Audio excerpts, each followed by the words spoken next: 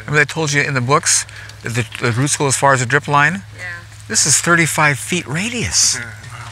And, you know, and so the roots are spread everywhere. But what I'm what I'm seeing is is that it's a it, it's a, it's it's the life force. You know, they're feeding one another. It's a it's a it's a giving thing. It's not nothing's being taken away from, and it's just it's phenomenal. And I had the most interesting experience. You know, I grow you know this is a cool place and to grow tomatoes. You got to have um, you want to get a lot of heat, and so I had this place in my herb garden where I had this metal sheet that reflects the heat to the north side of the plant to gain heat. And I've always grown tomatoes, and last year the tomatoes, two plants got covered an area 10 by 20 feet.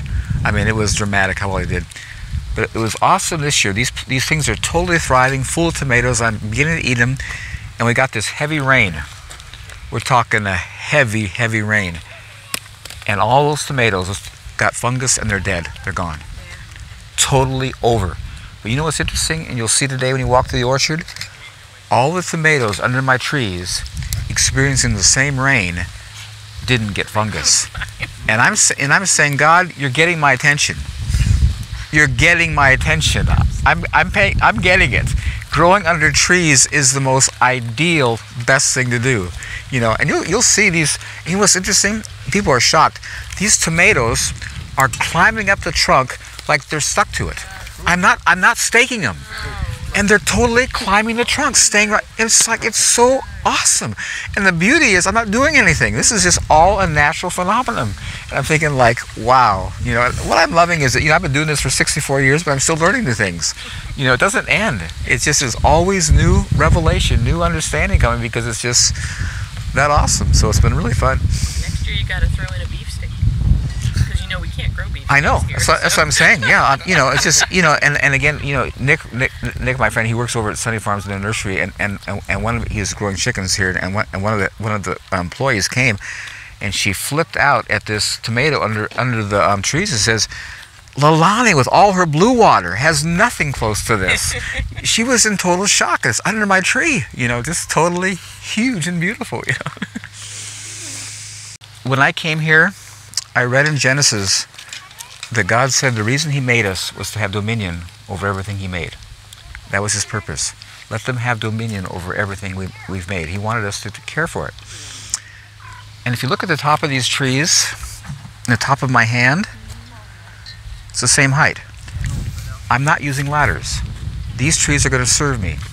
And if you look at their, their position, they look like they're very humble, like they're bowing down, serving me. And they are. And so as the tree grew, when a branch got this high, I cut to a lateral going out, and that became the leader. As the branches grow out and get fruit, they bend over, and the weight of the apples bends them down. And you'll see a lot of my trees, the branches are on the ground, you know, because it's just the weight of the fruit pulls them right down. But I can reach everything. I never use a ladder, and it's very convenient. You know, as you get older, the word convenience starts making more sense. You know, I, I always like it. The older people laugh pretty well because they get it. You know, they totally get it. You know, and you realize like, why make it hard? Keep it simple. Make it easy. You know.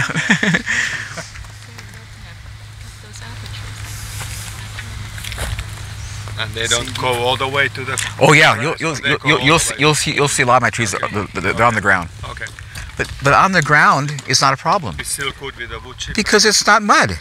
And it's totally soft, and it's nothing's going to rot. You know, it's, this is this is not a dirt environment. This is totally a nice nice environment. So, and actually, when they fall, they don't fall far, and they land on wood chips, which is clean and soft, so they don't bruise.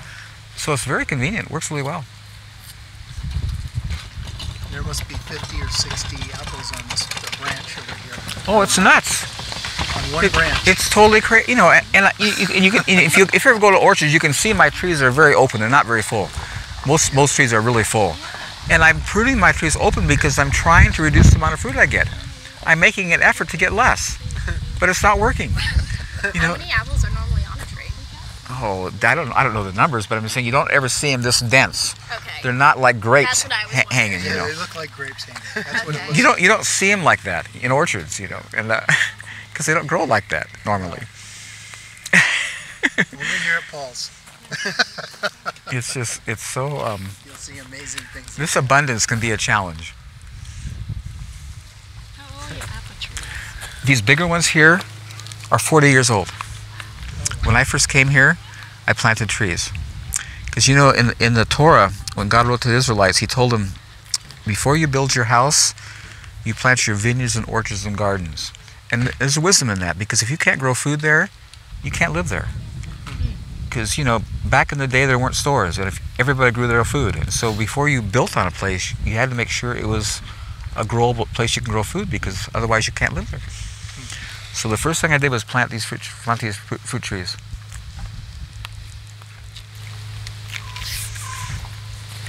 And they're in good shape. They'll last for 100 years or more. You know, the only trees, only reason that trees die is because they break up. They get cavities and the, and, and the structure fails and they, and they break. But trees, if they're in good health, should live forever. They should have no reason to die. And it's interesting, you know, General Sherman there in California, the big, the big um, redwood, it's 2,000 years old, 500 some feet, and still growing. And you know, and it was interesting in Israel when the Crusaders came in and cut down all the olive trees that were there when Jesus was there. Yeah. Now they've gone back and begun watering and re- and regrowing things from those stumps. Those olive trees are coming back. Wow. It's amazing. Life is powerful. It is incredible. And something that was so cool, I just saw a video. It was they they do a lot, a lot of excavation in Israel because of the all the history that's there, and they found this date seed that was 2,000 years old. A date seed. They planted it and it's growing, and they're so excited because they want to see what this date's going to be like. And I thought, how awesome, man! 2,000 year old seed is growing. You know, it's so cool. Hi, Hi, how are you? I'm well, thank you. How are you? Oh, we've been looking forward to meeting you. And Oh, bless you. Where, where are you from? uh, we're from Victoria. BC. Okay, all right, not far. Yeah. I can just about. Um, they they did some logging in my place here last year, and I can almost see Victoria Oh, right from on. my place. Yeah, it's, it's awesome. Yeah, we were we were down at uh, Dungeness Spit there earlier, just Mhm. looking back towards the Yeah, uh huh, Vancouver Island. sure. Yep. You out on the spit. Yeah. How far did you go? About halfway. It's good. Uh, that's a nice walk. We needed to get here. Sure. This, this, yeah. We're working back from this time, right? yes. He would know walking from Canada to the US. so that's the way to pick fruit, eh? Well, I I was just telling them, you know, um, you know, in the scripture, um, God gives us, gives us a, a clue of why He made us to have dominion. He said, "Let them have dominion over the, over everything we've made." And I sensed when I came here that I wasn't going to be a slave to trees. And if you look at the top of my hand, Yeah. that's where all the tops of my trees are. And as the trees grew, when a leader went beyond that, I cut to a lateral branch. As the lateral branch grow out and get fruit, they bend over because of the weight. So all my, if you look at them, they all look like they're humble, bowing down, serving me. It's, I think, I mean, it's, it's just, the, the, it's so significant, the reality, you know. Incredible illustration. Illustration, yeah, they're all humbly serving me, you know, because they're just, I, I trained them that way. And that's all your nasturtiums underneath. Yeah, look how beautiful they are, you know. And um, e- everybody should go eat a flower. Those are really. If you haven't had them before, they're really good. Yeah, go go eat them because I mean, they're they're yeah. wa- spicy. walk over here. You're gonna be surprised. Now, th- this one when you get to the the, the stem, it'll be sweet. Yeah, come out come out over here, on over and and just and I'll you. you you'll find the stem is really sweet. It's really cool. But the flower is spicy. Eat, eat, eat- not not as bad, not as spicy as you think. Thank you. You're welcome. Yeah, it's good. I will. Go to try. The stem is the sweetest part. Only one flower, okay? You can have many flowers. That's right. That's right. There's plenty. I don't know, Paul. You might run out of nasturtium. You know. Not here. look, look look at the volume in there. This is crazy. Every year, I think. I think might have been the first year, or the second year that you put down some nasturtium seeds that I was here the first time. Uh-huh. And every This year I multiplies. come back and you're like, they just come by themselves. They, now. they seed themselves. Yeah, the seeds fall on the ground. They just grow. They're very prolific about that. And they'll grow in anything. Yeah, they're doing well. I've had nasturtiums come up in this. Uh-huh. Well, this is an amazing growing medium. I don't know if you realize amazing. it's crushed rock, which are minerals, Yep. and things grow better than, in this than they do in dirt because it's all full of minerals. Take the bug away. You don't want to eat it. I know, but are, are earwigs really the enemy? No. I mean, when I was a kid, we were always afraid of them. But I've never seen them eat. I've never seen them. Insects are not enemies. They're God's police force. Really? Okay. So I'll explain to you. So they're not going to. They're. I mean, I, he hasn't done any damage to this no, flower. No, because it's full of water.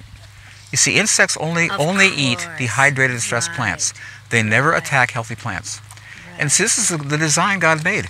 You see, if, if unhealthy plants could exist So and survive, Yeah. They'd eventually the seed would get weaker and weaker to become extinct. So God created insects as a police force to take out stressed, dehydrated, healthy plants, so the healthy plants produce seed and maintain healthy plants. It's by design. They're not they're not a problem. They're not they're not an issue. And if they show up, they're a wake up call. They're telling you your plant's not well. So he was just down there. He was just cruising. That's where the water was. He was just he was getting a drink. Yeah. But he's not he's not eating because because when you eat that you're going to see it's full of water. yeah. Okay. Bye bye. Now, what kind of flowers are these? over Nasturtium, here? Sergium? nasturtium, N A S T U R. Yummy, yummy, yummy. The stems are so It's the stem is sweet. I love it. You know. It's like filled with sugar. Well, that's all I have for this video. Bang around that bell icon if you want to be notified when new videos come out. Call us on the hotline if you have comments or questions and want to be featured in an upcoming video. Don't forget to comment, rate, subscribe. Check us out on the website, and we'll see you guys on the next one.